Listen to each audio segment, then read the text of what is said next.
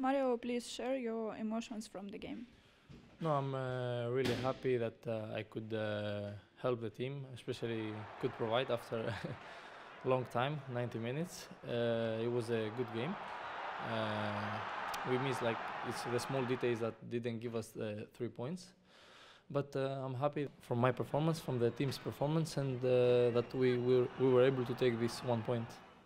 Today you played the six, which is not your common position. How comfortable you it was to play there?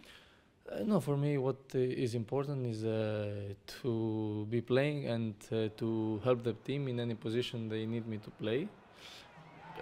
It's not the, my position like 100%, but uh, I am I am aware of this position. I know uh, I've played some times before, but as I said, it was the the team that needed me to play there, and that's why I played there.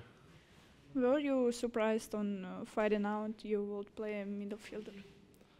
Uh, no, uh, actually, when the coach told me, I was thinking like, okay, because it was a derby, and maybe I don't know if he wanted to take that risk. But I told him that I was really confident because I was really confident because I had already two games, 90 minutes with the national team, two wins, and I said that I will play wherever you need me to play. About it, um, you played uh, 90 minutes in national team, and today uh, was it hard physically for you to play that much after a big break? No, I think that uh, these two games they played with national team, 90 minutes, they helped me a lot to maintain the my let's say physical condition. So it was uh, it was okay.